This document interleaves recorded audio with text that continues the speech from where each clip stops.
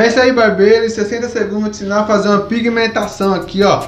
Pretinha, pretinha, pretinha. Pega aí, ó, a tinta. Você vai começar a marcar aqui o perfil pela frente.